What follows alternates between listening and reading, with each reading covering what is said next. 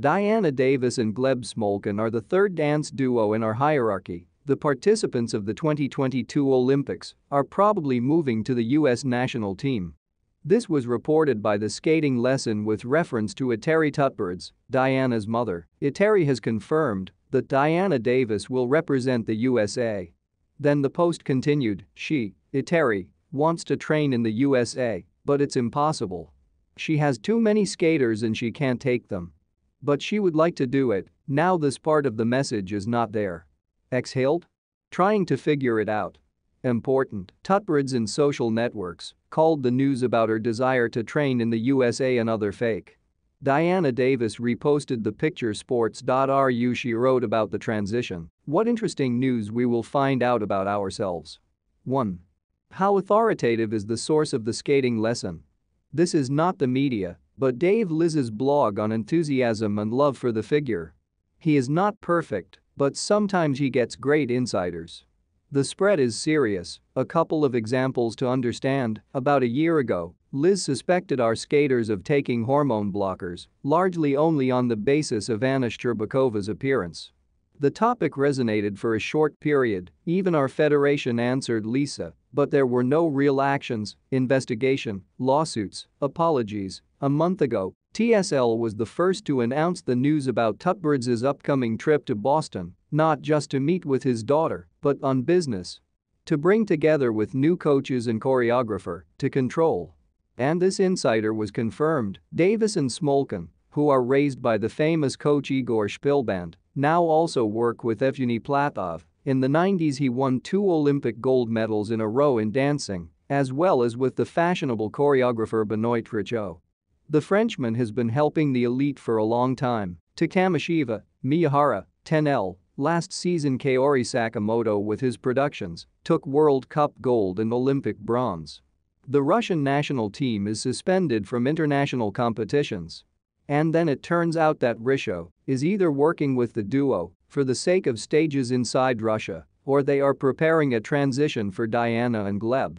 They have an excellent perspective at the international level Davis and Smolkin are young. They have just debuted at the Olympics, but competition is expected to decline in dancing. Several top duets are leaving, Russian leaders are falling out of the fight. And the potential, given the connection of Platov and Richaud, you can catch up to the top five. And then, as on the steps to the Games 2026, isn't it a working scenario? 2. Diana Davis has an American passport, she was born in 2003 in Las Vegas. At the beginning of spring, a funny story arose out of the blue with this fact.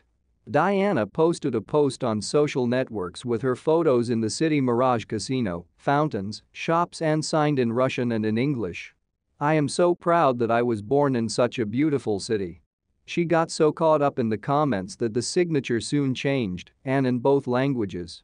It's great that I was born in such a beautiful city. Gleb Smolkin does not have an American passport. But to get to all tournaments, except the Olympics, Diana's passport will be enough. The 2026 games are a little more complicated, but the same TSL has already outlined a completely working option. If Davis and Smolkin get married in the summer, then the road to Milan, not yet according to the result, but at least according to the documents, is open. Probably, for the sake of all this, you will have to drop out of full-time studies at the Astrakhan State Technical University, there the couple has their first year behind them. They say that all exams tests were passed remotely. If the TSL information is correct, then we are interested in the position of our federation. They usually know nothing about the most important things there, and when it comes to switching to other flags, they strain. The Russian Figure Skating Federation is consistently for complicating the procedure and tightening quarantine. In the spring of 2020, a rule has been established within the federation. A transition from Russia is possible two years after a request from a foreign federation for participants of championships or championships of the country in one year. 3. Diana Davis and Gleb Smolkin are the only Russian figure skaters who did not support the events that began in February in Ukraine. Posts with quotes can be found in social networks for both at the end of winter. 4. Coincidence or not, but Eteri Tutberidze's Instagram was thoroughly cleaned at the end of March, minus 21 posts. All images where there is a Russian flag disappeared. A photo with Vladimir Putin disappeared. On October 7, 2020, Eteri congratulated him on his birthday. Happy birthday, Vladimir Vladimirovich. I wish you health and strength in the realization of all good intentions. Thank you so much for supporting Russian sports, there is no such post now. How can I not remember the Tutberidze did not come to the Kremlin in April, where the Olympians were honored. Although the faithful assistants Daniel Gleikhengauz and Sergei Dudakov were there. Tutberidze's Instagram now includes coaching achievements, family and Diana. 5. I will be honest. I have only one favorite this is my daughter, important words from an interview with Eteri to Channel 1 at the end of 2021.